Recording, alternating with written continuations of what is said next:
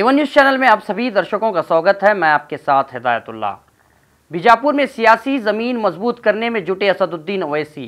Road show में मांगे अपने उम्मीदवारों के लिए वोट। एआईएमआईएम बीजापुर में महानगर पालिका चुनाव की तैयारियों में जुटी है। पार्टी चीफ असदुद्दीन ओवैसी आज बीजापुर शहर में मुख्य रोड हकीम चौक से होते हुए जामिया मस्जिद बड़ी कमान अतौल्ला चौक तक रोड शो किया और अपने पार्टी के चारों उम्मीदवारों के लिए वोट मांगे। बताते चले कि आपको असदुद्दीन ओवैसी का ये सियासी तौर पर यह पहला दौरा है। क्या बीजापुर में उड़ेगी पतंग या कटेगी पतंग की डोर? ये इकतीस तारीख को चुनावी नतीजे के दिन पता चल पाएगा।